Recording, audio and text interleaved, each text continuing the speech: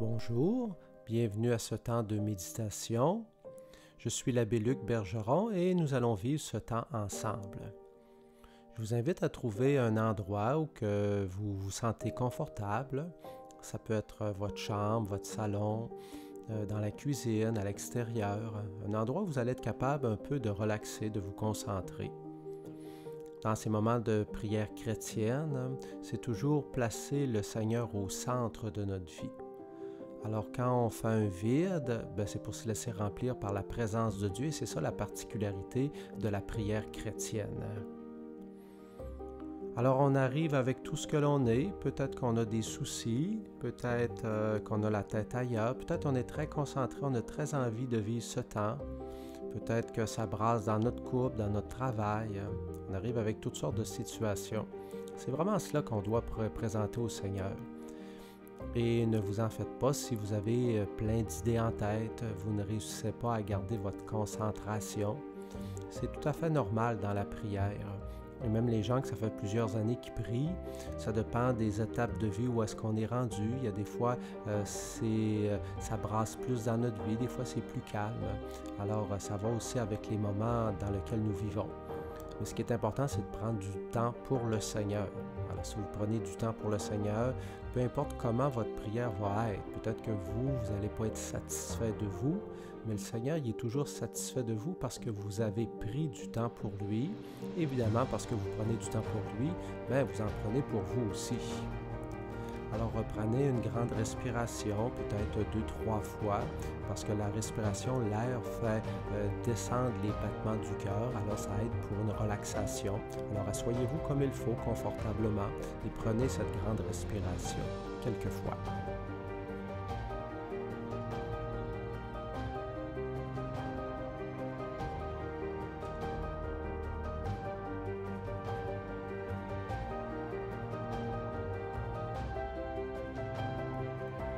Merci Seigneur d'accompagner ce temps de prière. J'ai peut-être avec moi une image. Je me suis peut-être allumé un lampion, une chandelle. Créez-vous un décor qui va vous aider. Maintenant, on va entrer dans ce temps de prière avec la méditation d'un texte biblique. Je vous invite aujourd'hui à écouter l'hymne aux Philippiens. Le Christ Jésus ayant la condition de Dieu, ne retint pas jalousement le rang qui l'égalait à Dieu, mais il s'est anéanti, prenant la condition de serviteur, devenu semblable aux hommes, reconnu homme à son aspect. Il s'est abaissé, devenant obéissant jusqu'à la mort et la mort de la croix. C'est pourquoi Dieu l'a exalté, l'a doté du nom qui est au-dessus de tout nom, afin qu'au nom de Jésus, tout genou fléchisse, au ciel, sur terre et aux enfers, et que toute langue proclame Jésus-Christ est Seigneur à la gloire de Dieu le Père. Prenons maintenant quelques instants de silence.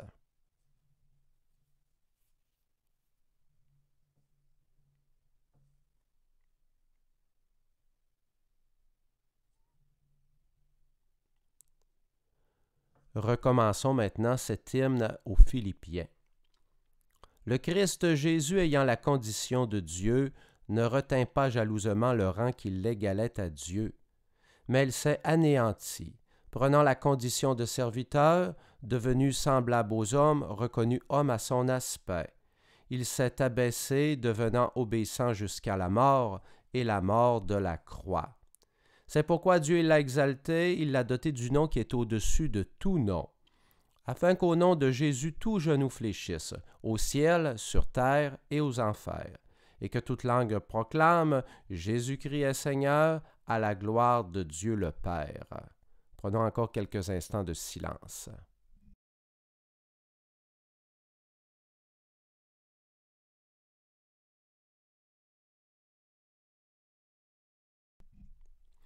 Je ne sais pas si vous, ça vous impressionne, quand on commence l'hymne, on dit le Christ Jésus. Alors le mot Christ, ça veut dire Messie, Sauveur.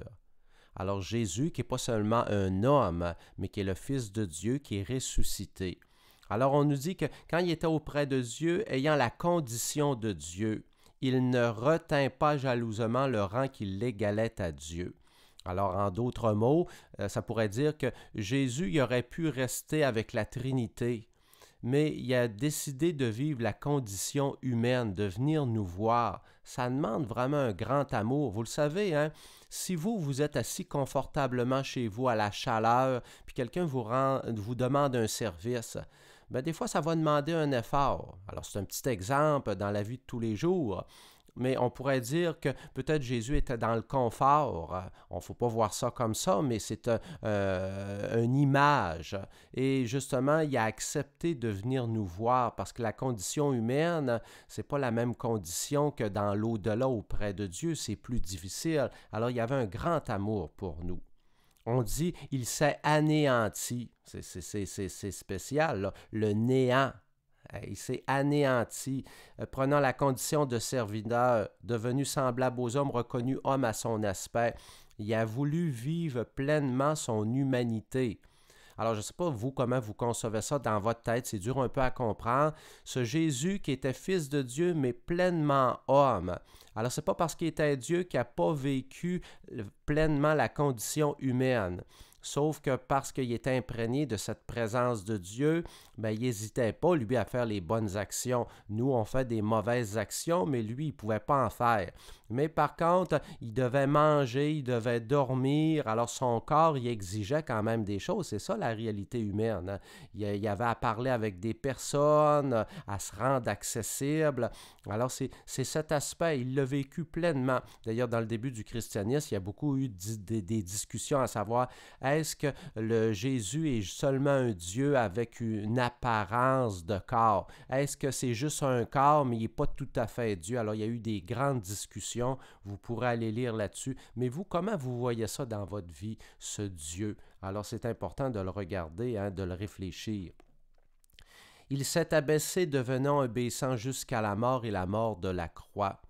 Je dis souvent à des personnes, Jésus, parce qu'il est le Fils de Dieu, a un claquement de doigts, il aurait pu anéantir le mal, l'éliminer mais il a voulu rentrer dans ce processus que le Père lui avait proposé. C'est un drôle de processus.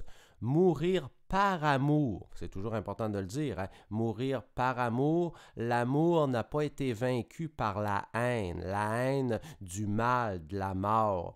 Et c'est pour ça que Jésus est ressuscité. Il a vaincu la mort. Il a vaincu la mort avec l'amour. Mais pourquoi que l'amour mène à la croix? Ben, regardons nos vies de façon plus simple. Je prends souvent l'exemple des parents avec leurs enfants.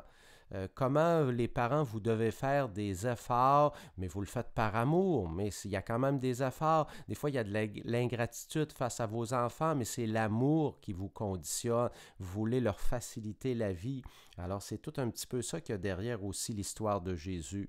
Et on va dire, c'est pour ça que Dieu l'a exalté, il l'a doté du nom au-dessus de tout nom. Quand vous prononcez le nom de Jésus, le mal tremble. N'hésitez pas à prononcer le nom de Jésus. On va dire tout genou fléchi, au ciel, sur terre et aux enfers. Alors, tout le monde de l'invisible, du visible, respecte le nom de Jésus parce qu'il est au-dessus de tout. C'est un nom très puissant, mais c'est un nom d'amour. Il ne veut, pas nous soumettre, nous écraser, mais c'est juste pour montrer que c'est à lui qui a toute la gloire. Et on va dire que Jésus-Christ est Seigneur, il a la gloire de Dieu le Père, alors que toute langue puisse dire ça. Alors est-ce que moi, dans ma vie, je suis capable de dire le Seigneur auquel je crois, qui est le Seigneur Jésus, à lui toute gloire. Je reconnais qu'il est le Dieu de l'impossible. Alors je vous invite à réfléchir avec cette belle hymne aux Philippiens. Merci Seigneur d'être justement Seigneur dans notre vie. Dans la Bible, Jésus a souvent béni les personnes, parce que bénir, c'est le contraire de maudire, c'est souhaiter le bien. Dieu veut nous souhaiter le bien, veut nous aider à faire le bien. Alors recevez cette bénédiction de Dieu au nom du Père, du Fils et du Saint-Esprit. Amen très belle fin de journée.